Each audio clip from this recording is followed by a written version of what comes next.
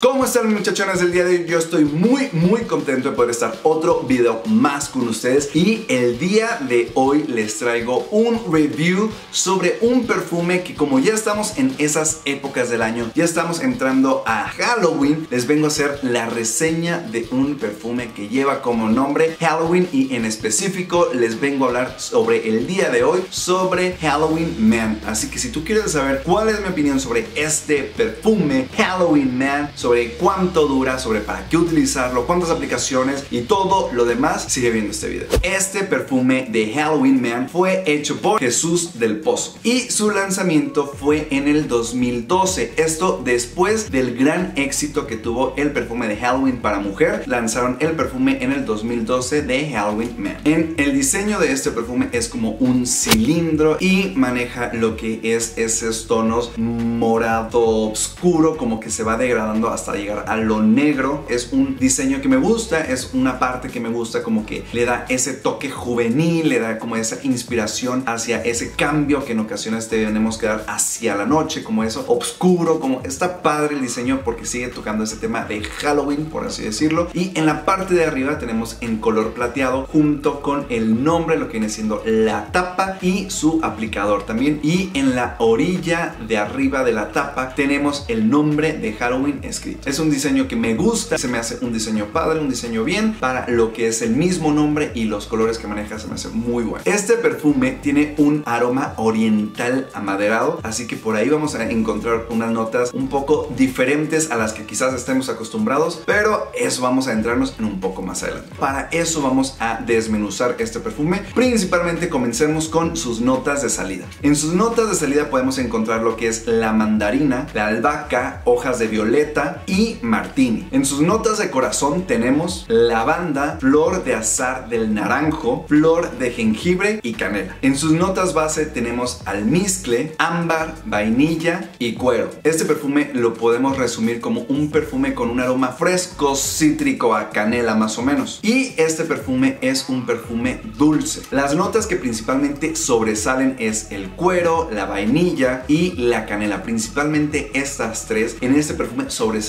muchísimo y también el aroma cítrico. Entonces, si eres de los que les gusta esos aromas como que cítricos dulces, este perfume sin duda te va a encantar. Este perfume está inspirado en una combinación de dos eras diferentes. Una es la era ochentera y la otra es a finales de los años 2000, donde principalmente estaban empezando a destacar esos perfumes como One Million o el VIP de Carolina Herrera. Este perfume está más o menos en esa misma categoría de estos dos perfumes de One Million o de VIP de Carolina Herrera. Es un toque como dulcecito como lo viene siendo el One Million o el VIP pero también tiene esos aromas cítricos. Este perfume va principalmente inspirado para el joven fiestero ese joven que se la pasa de antro ese joven que se la pasa de fiesta ese joven que se la pasa ligando coqueteando por ahí. Este perfume es perfecto para esos jóvenes que son como atrevidos arriesgados que viven muchísimo de noche principalmente. De hecho, es como la temática también que lanza en su publicidad este perfume, como ese joven arriesgado, pero que vive de noche. Sin duda alguna, es un perfume que consigue llamar la atención a distancia. Tú puedes alcanzar a percibir este perfume a unos cuantos metros de distancia de la otra persona que lo trae. Si de seguro esta persona o si incluso tú llevas este perfume y pasas a un lado de una persona, seguro vas a lograr llamar la atención con este perfume porque le va a encantar y va a empezar a olerlo porque es un perfume que alcanza a olerse a distancia. La duración aproximada de este perfume es de unas 6 a 8 horas. Todavía puede que incluso dure un poquito más de 8 horas. Todo depende, claro, del pH y de cómo te hayas aplicado el perfume de cada quien. Pero en el promedio sí está entre las 6 y 8 horas. ¿De qué edades se recomienda este perfume aplicar? Entre los jóvenes de 25 años hasta las personas de 40 años. Porque es más o menos el mood en el que está inspirado este perfume. Entre esos jóvenes fiesteros, entre esos jóvenes arriesgados que están entre los 25 años, pero que tampoco pasan de esos 40 años porque ya como que los 40 años ya es como ahora sí asentar cabeza por completo y este perfume va como entre medio entre esos, esas edades, los 25 los 40 años, así que si tú tienes entre 25 40 años es un perfume buenísimo para ti. ¿Y cuántas aplicaciones de este perfume tenemos que dar? Aproximadamente entre unas 6 a 8 aplicaciones en nuestro cuerpo, como siempre se los digo en las zonas y las áreas recomendadas recomendadas, unas 6 a máximo 8, porque si aplicamos más de 8, este perfume recuerden que tiene un toque dulce. Y recuerden que si nos ponemos muchísimas más aplicaciones en los perfumes dulces, podemos llegar a cansar nuestra nariz y principalmente lo más importante, la nariz de las demás personas. Nuestra nariz, como sea, nos acostumbramos, nos vale, pero la nariz de las demás personas sí las llegamos a cansar y en lugar de oler bien, después empezamos a oler mal. Así que entre 6 y 8 aplicaciones es buenísimo este perfume. ¿Y en qué momentos, en qué circunstancias aplicar